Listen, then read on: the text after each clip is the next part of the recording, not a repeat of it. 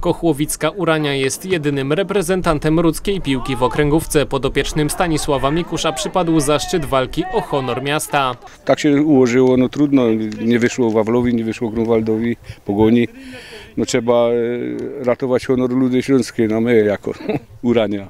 Póki co z zadania udaje się wywiązać. Pomimo bolesnej porażki przed tygodniem z Podlesianką Katowice Urania podniosła się i pokonała w ostatniej kolejce okręgówki 2 do 1 MKS Lędziny. Zagraliśmy dzisiaj praktycznie dublerzy zagrali, bo, bo sześciu jest na wakacjach zawodników, no ale chłopaki, ci co weszli, pokazali się, że chcą grać, widać i, i dostaną szansę teraz kolejną, nie? Wyszło trochę brak doświadczenia mojego młodego zespołu.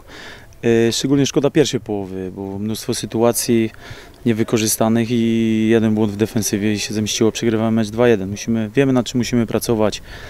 Kolejny mecz e, za tydzień. Po trzech spotkaniach Kochłowiczanie mają na koncie 6 punktów i zajmują czwarte miejsce w tabeli. Jak zapowiadają zawodnicy i trenerzy celem jest awans do czwartej ligi, choć w pierwszym rzędzie ludzka ekipa chce powalczyć o miejsce w pierwszej piątce. Kolejną przeszkodą na drodze do osiągnięcia celu będzie Iskra Pszczyna, z którą Urania zmierzy się w najbliższą sobotę.